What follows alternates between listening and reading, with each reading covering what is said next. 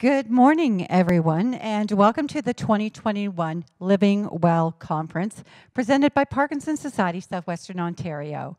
In just a few minutes, we'll be embarking on an educational journey with Parkinson's disease with three experts in their respective fields. Since the concept of a virtual conference is new to so many of us, I'd like to point out a few unique features that will enable, enable you to enjoy and interact with today's conference uh, presenters. Throughout our time together, we'll be able not only to listen, but to ask questions of our experts. Please type your questions into the chat box, and we will ask it on your behalf during our question and answer period at the end of their presentation. And if for some reason uh, you miss a segment or, un or unable to catch all of the information provided, uh, the conference will be made available via the PSSO YouTube um, in the next week or so for you, and so you can go back and look at it. Before I introduce our first presenter, PSSO would like, to, Parkinson's Society Southwestern Ontario would like to thank uh, AbbVie, Sunovion, and the many local community foundations and United Ways for supporting uh, today's conference. Their support allows Parkinson Society Southwestern Ontario to continue to provide programs and events such as this conference. Our first session, we welcome Dr. Soania Mathers and Larry Gifford to speak about their work with the advocacy group PD Avengers. Dr. Soania Mathur is a family physician living outside of Toronto who resigned to her clinical practice following her diagnosis of young onset Parkinson's disease at the age of 28. Now she is a dedicated speaker, writer, educator, and Parkinson's advocate. She speaks passionately about the challenges of adjusting physically and emotionally to a diagnosis of Parkinson's disease and the coping strategies available to patients. She is the founder of Unshakable MD, which was, initi- which was initially created to raise funds directed towards research and awareness of Parkinson's disease, and now serves as a platform to educate and inspire those living with the disease to take charge of their lives and to live well with Parkinson's. Dr. Mathur has a special interest in helping educate the youngest affected by the stress of this chronic disease. To help facilitate dialogue between children and their loved ones, she has authored two books My Grandpa's Shaky Hands and Shaky Hands A Kid's Guide to Parkinson's Disease. All proceeds from the sales of these books are donated back to support Parkinson's research and other efforts that serve the PD community. Larry Gifford has spent nearly 30 years on radio and is currently the National Director of AM radio for Corus Entertainment in Canada. He was diagnosed with young onset Parkinson's disease in August 2017 at the age of 45. Larry is active with the Parkinson's Society British Columbia and sits on the board of directors for the Pacific Parkinson's Research Institute. He believes in the power of storytelling, hosting When Life Gives You Parkinson's, a podcast that documents his experience living and working with PD, which, is, which was a finalist for the Canadian Podcast Awards.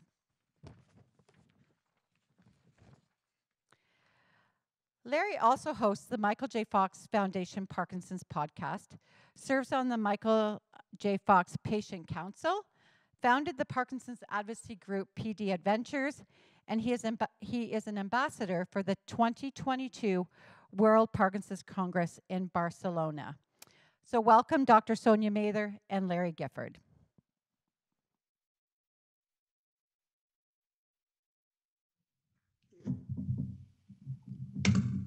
On a second. Oh, here we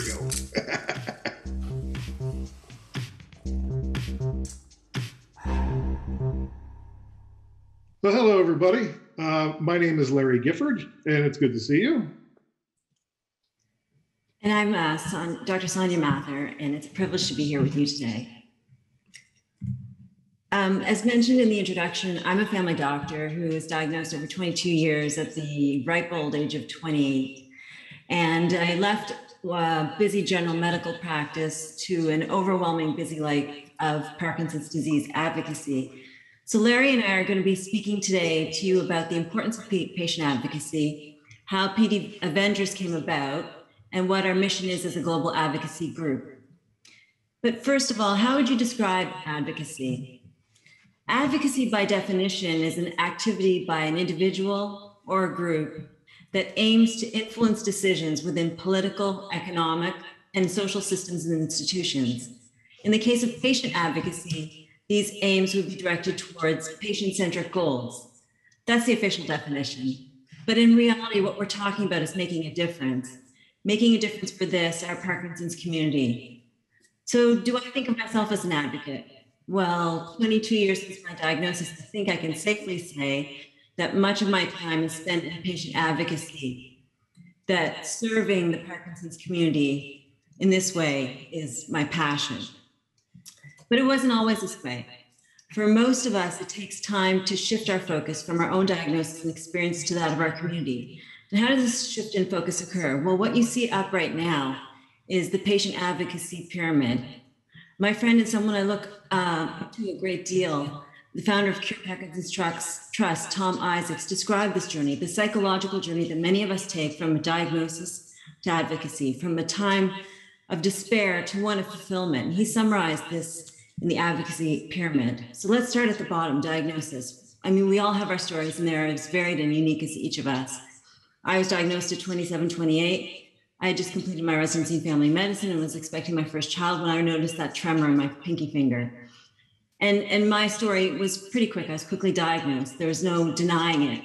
Um, but you know what had been um, should have been a joyful and exciting time in my life was still instead marred by this unwelcome diagnosis, this unexpected trajectory my life had taken.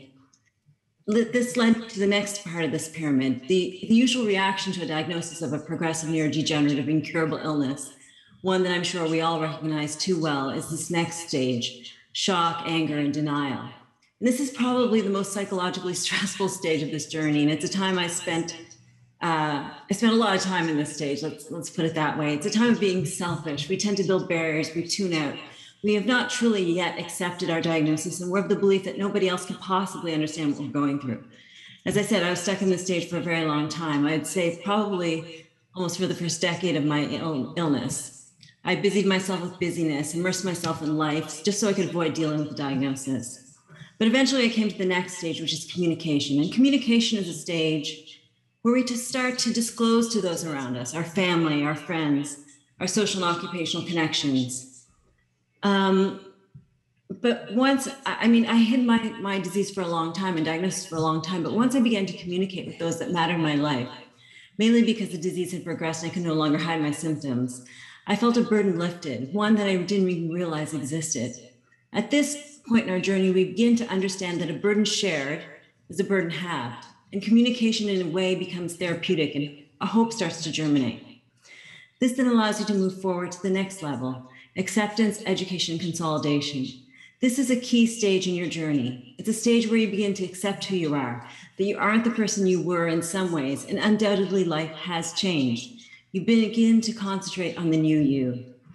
Once you're able to accept the disease, you, your focus turns outward towards others within your Parkinson's community. And this is the stage of engagement and participation. Your outlook on this disease becomes a wider issue, not just a personal one. You start to engage with others, listen to their stories, recognize that you are able to support others with your own experience. You become more engaged in the Parkinson's community. Perhaps this takes the form of joining a support group or working with a specific Parkinson's organization or taking an interest in particular aspects such as clinical trials. However, you choose to participate, as my friend Tom had said, you go from being needy to being needed. And this is a time when you begin to recognize the quality of life for you and others is the primary goal. That's the stage of advocacy. You begin to devote much time to the business of Parkinson's. It becomes your focus, your passion. Your goals are to help your community in the search for better treatments and a cure. Other stakeholders, as well as as well as others with Parkinson's, are seeking your input. This stage of advocacy is a time of influence where your input can impact patient care and policy through involvement with pharmaceutical companies, patient organizations, or scientific led initiatives. Your insight, urgency, passion, focus, fundraising, empathy, and participation all lead to tangible results and empower those around you. And hopefully, by uniting advocates, by uniting all our efforts, we will ultimately reach the end goal, which you can see at the top of the pyramid is a cure. And there really is a palpable surge of urgency in the patient community, and patients are fueled not only by urgency, but also hope. And uh, if you go to the next slide, you'll see the quote by Tom Isaacs, who unfortunately is no longer with us. And he says that through this, patients can become sufficiently educated, sufficiently empowered, sufficiently determined, and sufficiently resourced to become an indispensable and constructive force for progress in the pursuit of cure for Parkinson's. And it is out of this sense of urgency that the PD Avengers came to be. And I'll throw it over to Larry to talk a little bit more about how we came to be. Great, thank you, Soania. Uh, this is uh, that was a great setup because you know the PD Avengers is, is about advocacy. Um, we're a global alliance of people with Parkinson's, our partners and friends, standing together, demanding change in how the disease is seen and treated. You know, we, we now have over 3,000 members from 62 different countries, uh, more than 50 organizations worldwide who've agreed to partner uh, uh, with, with, us on, on this effort, um, with the idea being we are adding a sense of urgency to research, wellness, and advocacy uh, by uniting people and organizations to the cause of ending Parkinson's. We, we're, we're, we're really pulling people together. Uh, so there, there, there's one message, there's, there's one Parkinson's, there's one community. Uh, so we're all speaking the same language, uh, same messages, and, and, and, really working towards a, an end goal. Um, PD Avengers is self-funded. Um, it's, we're a Parkinson's advocacy coalition. Uh, we are in the process of registering as a nonprofit. Um, and uh, we, we, we are a think global, act local organization. So uh, we really want to bring the global community together, uh, which is why we've done so much outreach internationally, because we, we really believe bringing those organizations together, uh, and they've all, all these organizations have agreed to um, you know, once a year, you know, come together and build a campaign that they all can live through. Uh, it's one message around the world at the same time, but each organization can can can drive it locally how it's how it's uh, best suited for them and their community. Um, and we meet uh, every other month uh, and go over opportunities to to collaborate with each other and now they're collaborating on their own without my help, which is great. Love seeing that. Um, but I want Soania to talk about the origin story. It was uh, it's a kind of a fun fun uh, little journey we've been on. Uh, you know, Parkinson's has been around for a while, and the but the PD Avengers is not yet even a year old. Soania, how, how take us back in time? Yeah, it came out about innocently enough. Larry brought myself and our friend uh, Tim Hague together for a book club of sorts, as we were all inspired after reading this book, Ending Parkinson's by Dr. Bas Bloem, Michael Okun, Ray Dorsey, and Todd, Todd Sherer. At the end of this book are pages and pages of calls to action, and we discussed those points, those issues that needed to be tackled. We began to question who's going to tackle the work that needed to be done and we couldn't really identify one group that that would take this on as sort of a, a global uh, initiative. So we thought well you know it's not like we have a lot of free time but you know this is an important one that we need to ta- take on. So we recognize there are lots of organizations doing great work but we're often doing those that work in silos. We realize that unlike other disease pro- groups if we left things sort of at status quo we weren't progressing fast enough I mean, Parkinson's disease was discovered or, or identified um, over 200 years ago. Since then, humanity's put men on the moon, eradicated polio, changed HIV from a death sentence to a chronic illness, has mapped the human genome, discovered thousands of galaxies among the stars, yet has provided precious little beyond the gold standard 50 year old drug for Parkinson's. Despite the unprecedented advances made in the areas of technology and medicine, Parkinson's disease remains a source of disability and poor quality of life for millions of people around the world, and we're tired of it. So we pulled to together a larger group of founding members, including um, some from Canada, US, and UK, organized our mission into three pillars, which we'll, we'll speak about in, in a moment. and the PD Avengers, a name that we kind of began a bit tongue in cheek. We were kind of sitting around and saying, gosh, we sound like superheroes. We sound like Avengers. Uh, taking on Parkinson's, and then someone said PD Avengers, and that kind of name just kind of ended up sticking. And we came to be, as Larry said, less than a year ago in, uh, in July of last year. And uh, it's um, here's here's a little map of some of our stats and where where, where the PD Avengers currently are living. Uh, it's it's really uh, it, it's so fun to be on a PD Avengers call when we bring everybody to the to the table and you have people from Romania and Nigeria and U- Uganda and uh, the UK and Ireland and like uh, suddenly in Mexico and the US and Canada. And it's, it's such a, like you feel like, wow, what a great community we have. Um, and, it, it, and PD Avengers is not just for people with PD, it's for partners. It's for friends, and partners and friends can mean a lot of things. You know, you're, you're, you're you you have your your partner in Parkinson's or your care partner, but then you also have uh, partnerships with your doctors and you, you know with your therapists and with your uh, you know uh, neighbors or your friends. And so everybody needs to be involved in what we're doing because we're not going to be able to get to where we want to get to uh, unless everybody's involved. And, and it's really this is uh, you know before the pandemic we're in now this was considered a global pandemic um, the number of people with parkinson's um, in 1990 doubled over the course of the next 25 years to 2015. And it's going to double again by 2040.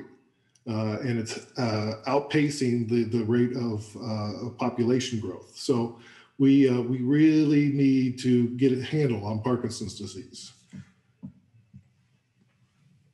So then, what makes the PD Avengers unique?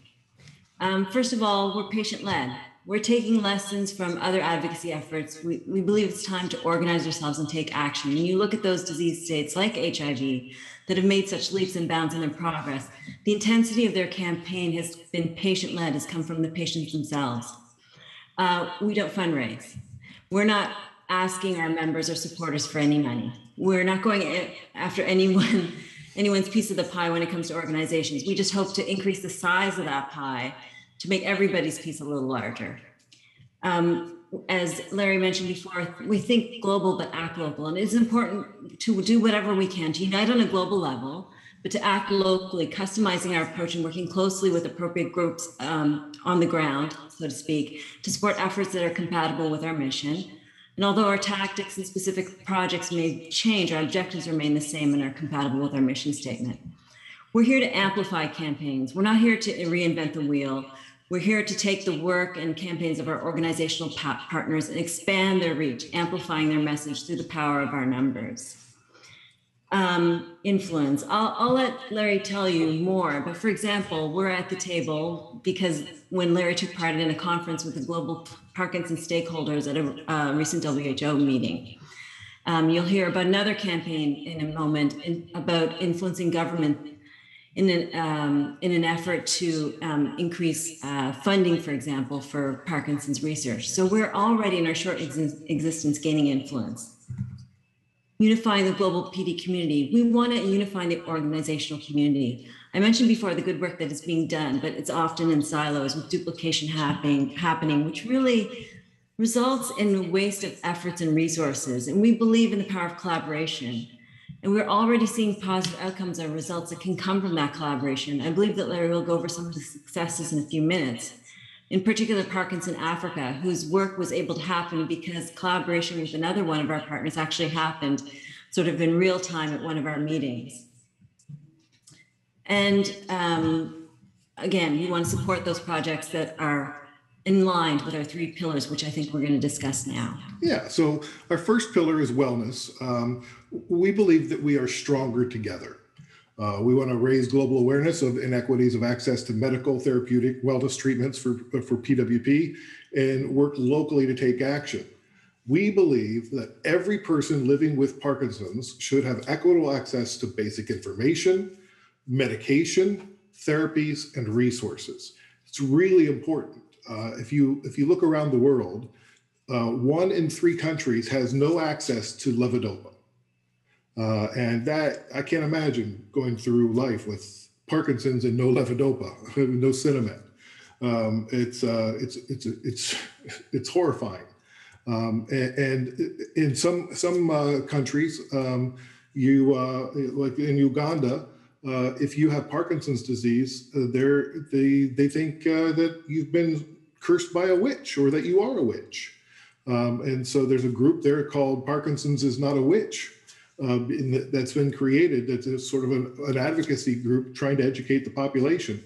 Um, so there's a lot of that's why we want to act locally because everybody has a different circumstance of what they need in their community. Some some some need just basic information about what Parkinson's is and what it is not, and some need medication. Uh, you know, even in the United States, you know, not everybody has access to uh, a, a, medical a movement disorder specialist, and they we should have that. Not everybody has access to telemedicine because we don't have a strong enough uh, you know Wi-Fi system across the country.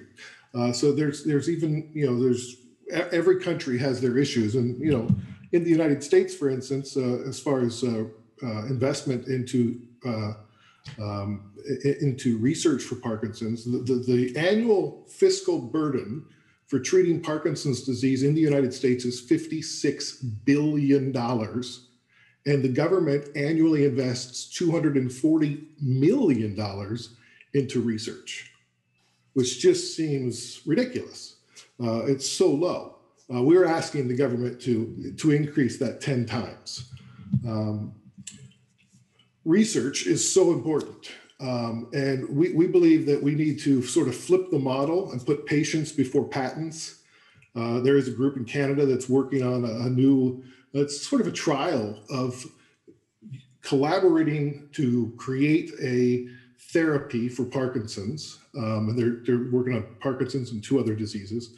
Uh, and collaborating with the different universities and different uh, researchers and uh, organizations and, and private companies and they're trying to reduce the the time between the the inception of the thought of the therapy to it being in your pharmacy. And right now that takes about 15 or 18 years, and they want to bring it down to five years. And the way they want to do that is they want to create, they want to collaborate to create it. And then the first or first and second uh, iterations of the medicine, once it's you know tested and approved, is open science.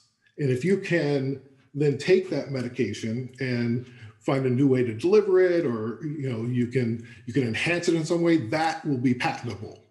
Uh, and so uh, that that's test is uh, has started in canada so we'll see how that goes.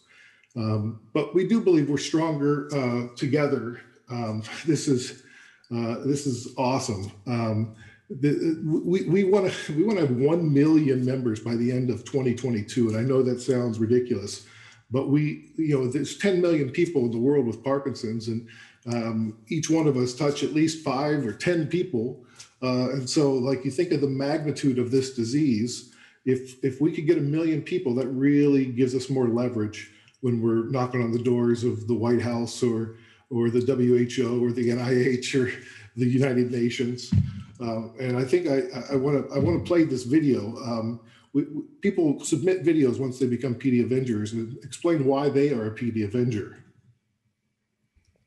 Hi, my name's Greg Hicks, and I want to tell you why I've decided to become a PD Avenger.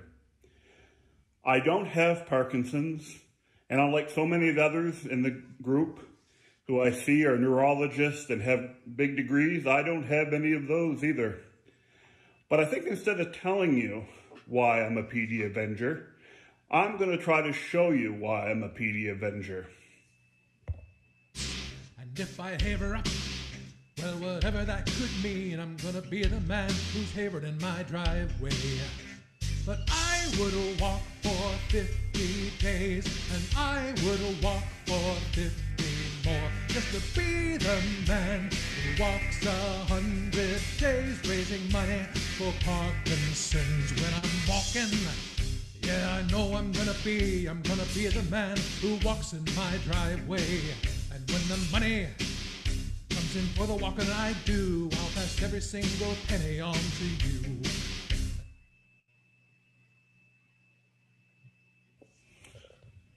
That man walking there in his driveway was Ralph Richardson. I have been his caretaker and friend since January of 2018. He has advanced Parkinson's as well as battling Lewy body dementia. And it's for his inspiration alone that has got me involved very much to be an advocate for Parkinson's. Not just him, but for many of his friends that used to be in his Rocksteady boxing program. I've seen the passion and the determination that they all have. And I want to do my part to fight that hopefully Ralph's granddaughter will never have to see Parkinson's in this world when she grows up. Okay, ready? Ready? Ready? Ready? All right, we ready? Nice and loud. One, two, three,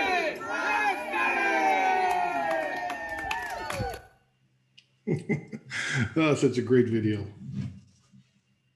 That was that was really touching.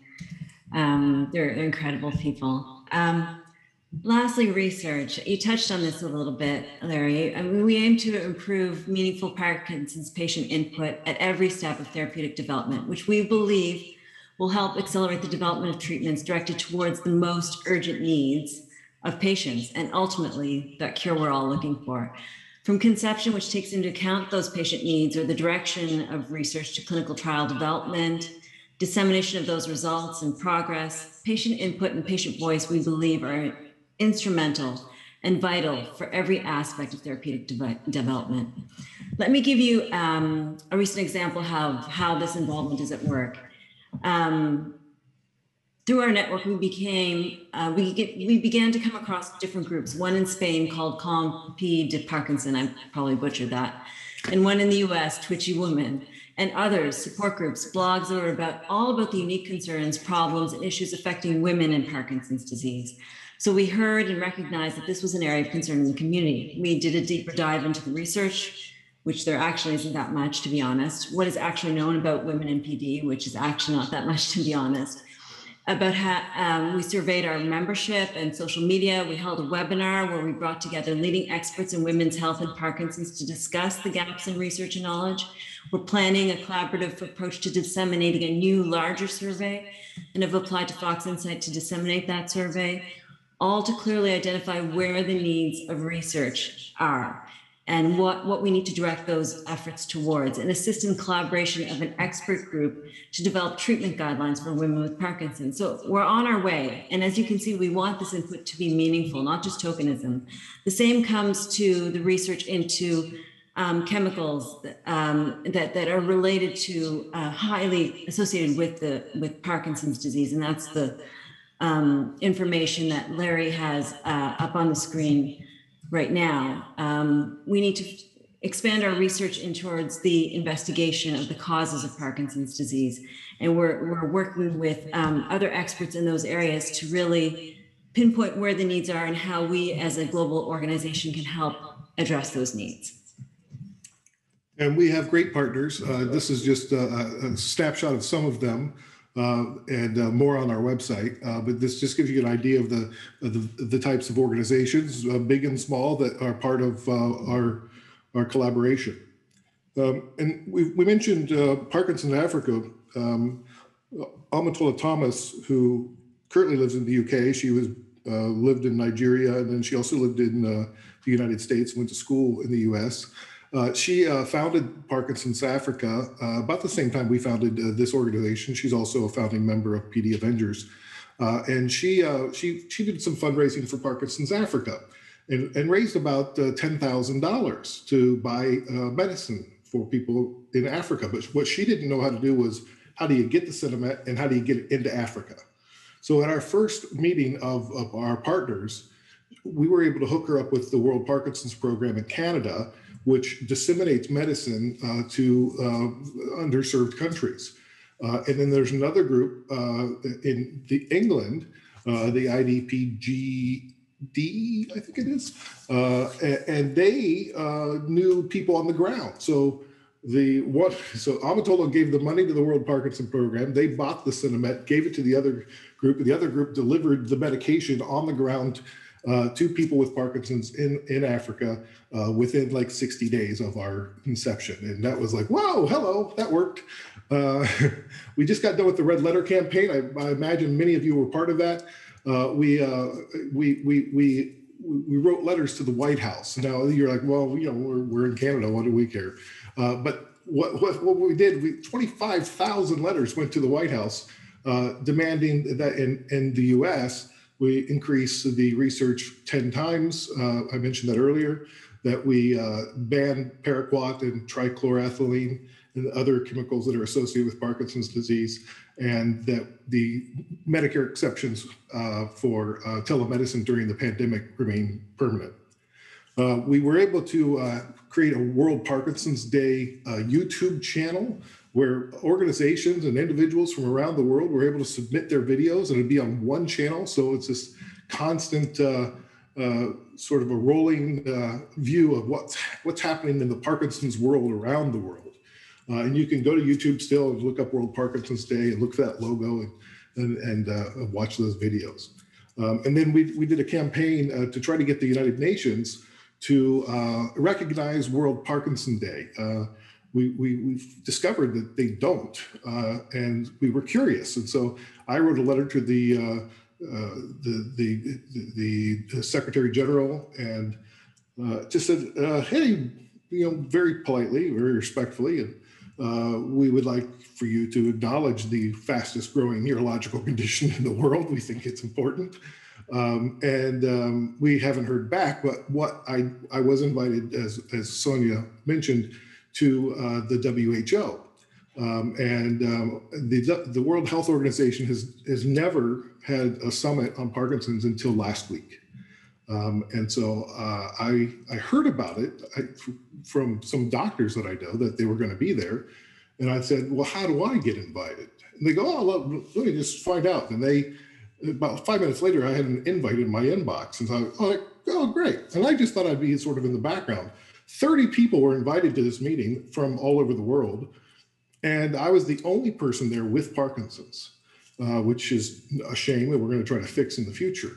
Uh, but it was a, a fascinating uh, time. And what we're doing is we're creating a, uh, a, a technical brief, uh, which will be submitted to the General Assembly and uh, if, if adopted, will become the, the the new expectations of the member states of the United Nations as it pertains to Parkinson's disease, which includes, you know, um, making making a mandatory medication, uh, you know, that you have to provide to your citizens, and you know, making telemedicine uh, okay, so we can do diagnoses from from the United States. They could just send in video file because uh, a lot of the diagnoses are visual. So there's a lot of great things that are happening.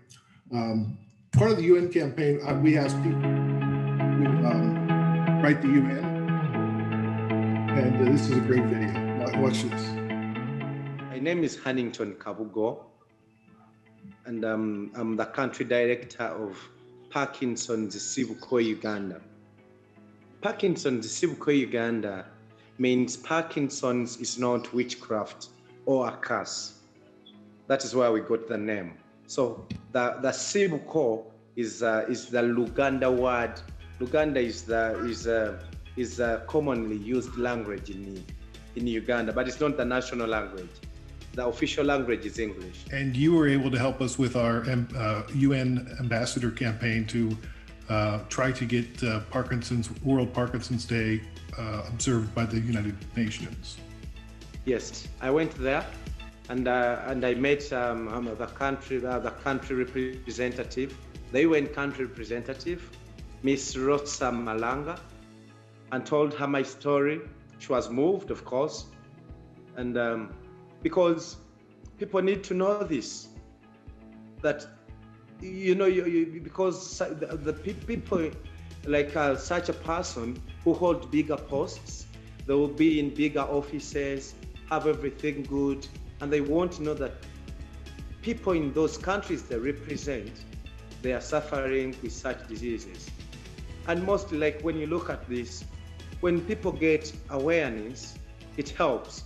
Like you have a disease, and then your people are running away from you, then that is the more pain you're causing to yourself. At least you should know I have Parkinson's. And then you know this Parkinson's, I can't afford medication. But at least you can't afford medication, and then people are not giving you food, people are running away from you, people are calling you witch, then that is more pain now.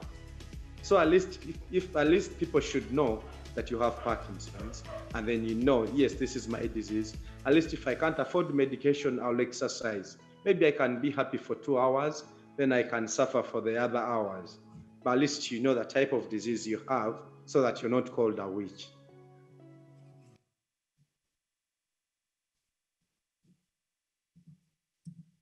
That is our presentation, and we encourage you to sign up to be a PD Avenger if you've not yet at pdavengers.com. And now we'll uh, take your questions. Good, mar- good morning, Larry and uh, Soania, Dr. Mathur. It's Mark here from the Parkinson Society Southwestern Ontario offices, and uh, thank you for your presentation this morning. It's been it's been really enlightening.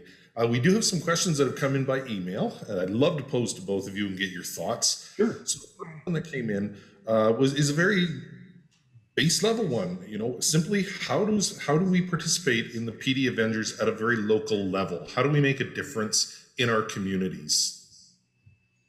Well, uh, I'll tell you, when you sign up to be a, a PD Avenger, uh, you'll get uh, at least once, sometimes twice a month, uh, action alerts, things that you can do. Uh, and so uh, we we try to keep those, um, you know, things that are ac- actionable at, at, your local level.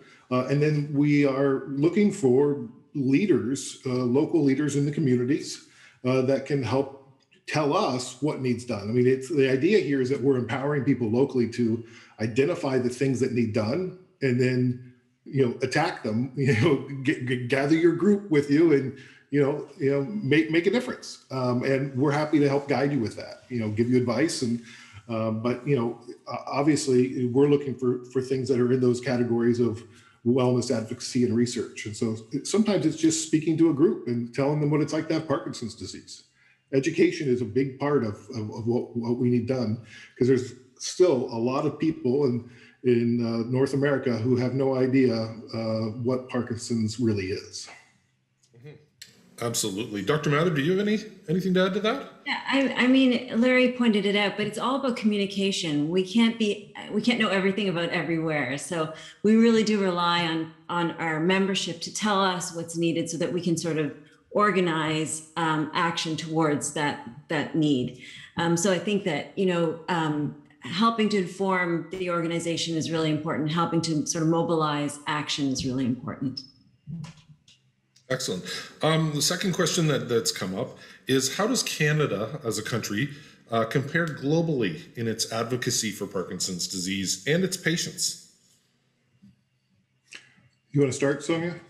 Um, that that's a hard one. I mean, probably because I look at the community more on a global level, and and you know the work that I do, the work that Larry does, the work that probably most of your um, audience does, does that that are involved in advocacy. We sort of work for the community at large. A lot of the research that is done locally in Canada or is funded locally in Canada is going to hopefully come up with results that affect everybody globally. Um, so I don't know if it's a matter of um, a single country sort of taking the lead.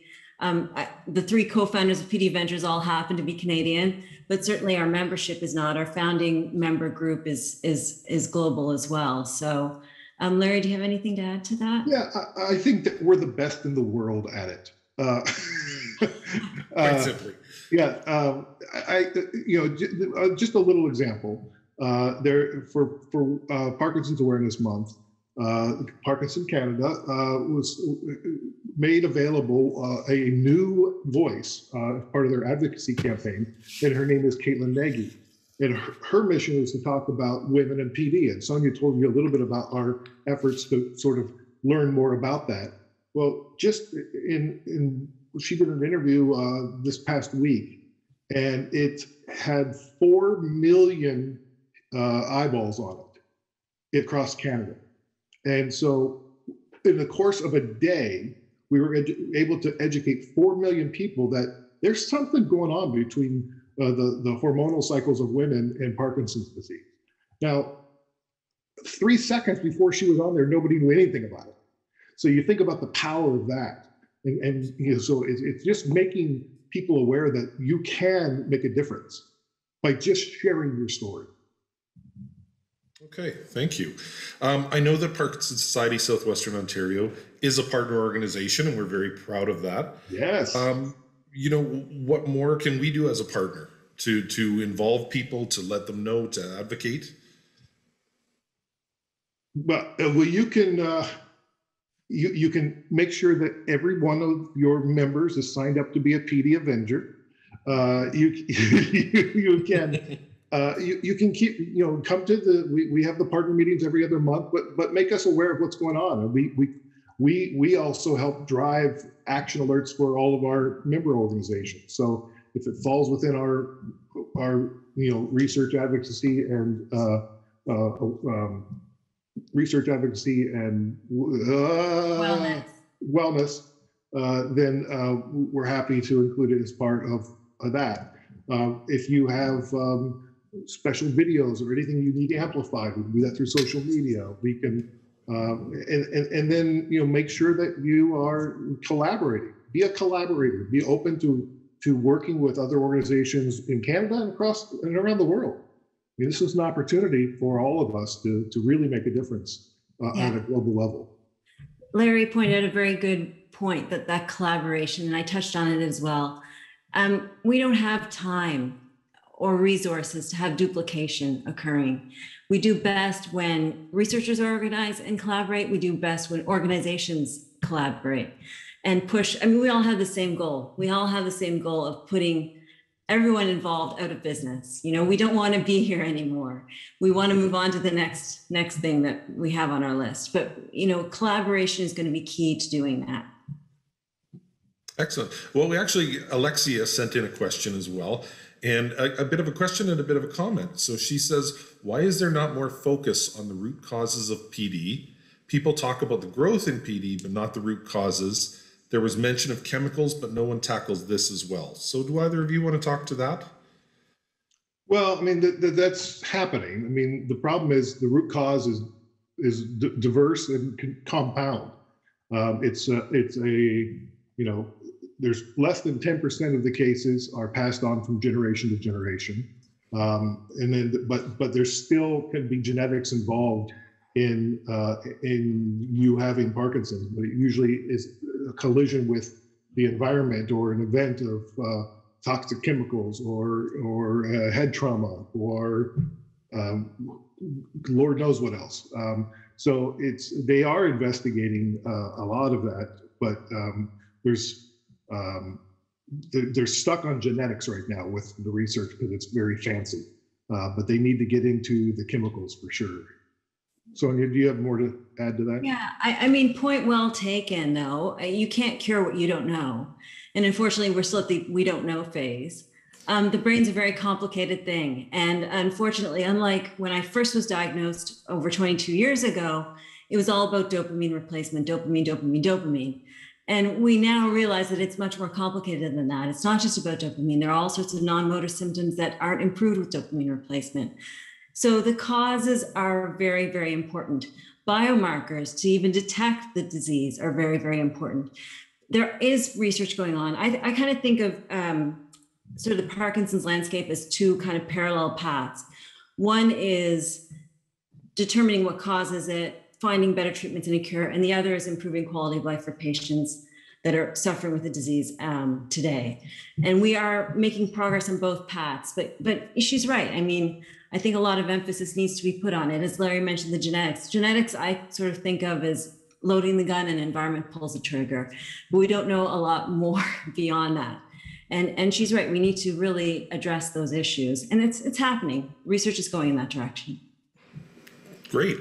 Another question coming in. Um, what would be your advocacy priorities when approaching the government? Well, I think it's different for each government. Um, you know, I can tell you with the um, with the United States, it's uh, research uh, dollars. It's it's making you know the telemedicine uh, you know a standard for Medicare. I mean, if you think about you know, every six months, you know, people with Parkinson's go see their neurologist or maybe every year. Uh, but but it's hard to get from your house to the hospital or where, wherever you have to go. And um, if you're advanced, uh, advanced stages of Parkinson's, that's that's a long day. It's an exhausting day.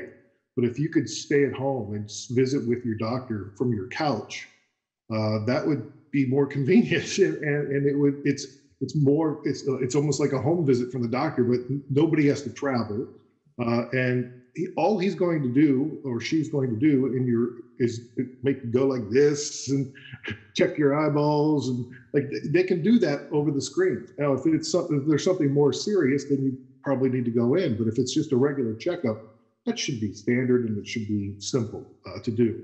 Um, I, and we need to ban the, the chemicals that we know are connected to to to, uh, to Parkinson's, which is paraquat and trichloroethylene, which are both uh, present in Canada. Trichloro- trichloroethylene is where we really need to put a lot of focus right now, especially in Canada, because um, they're still using it in Canada, especially in the Ontario area. Uh, it's used in dry cleaners. It's used in as like a, a, a industrial cleaner, but it was first uh, used uh, when it was uh, initially uh, created. It was first used uh, with, for surgeries to, to put you under, uh, and and then it was used for decaffeinating coffee, and then it was used in whiteout. so they they've they've they've really spread their love all around, and then now it's if you look up Superfund sites, you'll find trichloroethylene is in a lot of the Superfund sites, which are the sites that the government has cordoned off, uh, land, property land that is now cordoned off by the government because it's so uh, saturated with chemicals. And trichloroethylene is in a lot of those as well. And it seeps into the well, into your water system and everything else. And it's, yeah, it's not good. So a very timely question right now. Um, how is the global pandemic affecting the work of the PD Avengers? And, and, you know, how do you see it affecting the work going forward if and when we ever get out of this pandemic? If and when. Well, I hope we get out of this pandemic. Uh, well, I just, I just want to hug people. Uh, right? Don't you miss that? Absolutely. Uh, you know, actually, the pandemic probably uh, was was to the benefit of the PD Avengers. I don't know that it would have taken off the way it did if we weren't all at home working and able to sort of focus more time on it than we typically would have uh, at any other time, or at least that's the case for me. Um, and, and uh, you know, people are much more available online now. I mean, it, being online uh, and doing these these zooms now is second nature to most people. When when we started, it wasn't. Um, and so it actually connects us internationally a lot, lot, lot better than it than, than before the pandemic. Yeah, and I think another thing that uh, a lesson that we've sort of learned from this pandemic is the ability of um, us on a global level to affect change. I mean, the world collaborated, researchers collaborated, countries collaborated together to for to to find a vaccine or a number of vaccines for this for this coronavirus or COVID-19. That was an accelerated form of delivery. I mean, that that doesn't happen normally. But through collaboration and focusing on one thing, we were able to bring a vaccine to market. Well, that can be done for other things, other diseases like Parkinson's disease. That's just the power of collaboration and what we can achieve when we work on something together. Yeah, and when something becomes urgent. Right. See, that's what we do. We we create urgency for Parkinson's. The urgency behind the pandemic is what forced the governments to clear the red tape, forced the scientists to work together because it was global alert. Well, this is sort of like a silent pandemic that people are like people, it's like sneaking up on people and if you think about the fact that it's going to double, the number of people with Parkinson's today is going to double in the next 19 years. The average age, John said, is 72. Those people are alive today. They just don't know they have Parkinson's. Uh, so this could, you don't know who it's going to affect. Could be the next one. Larry, I'm going to ask a question from your biography. Just, I think a lot of people would be interested. Can you tell us a little bit about the 2022 World Parkinson's Conference? Oh, I can. Congress? Oh my God. I think people would love to hear about that. Yeah, well, first off, Barcelona, hello, sangria and tapas. What's what's not to love? Um, the, the 2022 uh, WPC, the World Parkinson Congress. So I, I went to my first World Parkinson Congress in Kyoto, uh, and it was life changing. I, I probably wouldn't have created, helped create the PD Avengers had it not been for the World Parkinson Congress. It made me uh, realize how much of an advocate I am and can be, and the impact I can have on the world. Uh, I, I started my podcast when Life Gives You Parkinson's three years ago. Uh, and you know, you, you put something out like that, you don't really get a lot of feedback on it. And you just, it's more for me, it's like, hey, my mom likes it, that's cool. And I walked into the, the uh, convention center in Kyoto, and people are like, Larry, Larry, Larry, Larry. I'm like, that's my Twitter feed came to life. Uh, and uh, I'm like, this is amazing. And I got to meet so many great people, some real dear friends, including Soania and and Tim, we, we met there and, and now, now we're in business together uh, in the Parkinson business. Um, and uh, what, what happens there is really amazing. So it's, a, it's the only medical conference where you have neurologists, uh, researchers, scientists, uh, home healthcare workers, uh, partners, and the, the, the, patients or the people with Par Parkinson's disease uh, all in one meeting uh, and talking to each other in the hallways and at lunchtime. But there's always like four or five different tracks of info, of so you can pick where you want to go. If you want to get really sciency, they have those. If you really want to think about practical day-to-day things, you know they'll have a stream for that. And so it's different levels of information that they're always churning out over the course of three, three and a half days. And it, it, it's it's exhausting it's mind blowing, and you will leave there uh, educated, empowered, and uh, roaring to go. I mean, it is it's it's infectious, and you realize what a one. You know, you think you have a great community, and we all know how cool Parkinson's people are, uh, but like you, it, it's amplified a hundred times when you go to the WPC. Sounds like a good time. I think I think we should all plan on being in Barcelona. I think we should. Wouldn't that be great? Dr. Mathur, Larry, thank you so much for your time today, especially you, Larry. It's very early in BC. Uh, we appreciate happy, you getting up early for us. This is great. And uh, this was wonderful. And, and you really summed it up by saying, you know, that, that our Parkinson's patients and their caregivers and the, their families are the heroes. They're the, they're the people that, that, you know, step up and, and live with this every day and deal with this and, and uh, we're advocating for and working with. So thank you so much on behalf of everybody here and, and everyone at Parkinson Society Southwestern Ontario um, for your time, for your friendship, for your partnership, and most of all for the work you're doing. Thank so, you. Thank you very much. Um, to our audience, Dr. Akshay Vasudev was to be next. Unfortunately, due to an unforeseen circumstance, he's unable to participate today and does send his apologies. Um, we will have Dr. Vasudev give a presentation at a local t- or at a, at a future date, but we're now going to pause for a short break, a couple of minutes. Um, our broadcast continues in approximately four or five minutes as we can as we welcome Karen Van Ooteghem talking about biosensors and Parkinson's disease. So again, Larry, Dr. Mathur, thank you so much. Have a wonderful day and keep avenging for us. Thank you. Thanks, will do.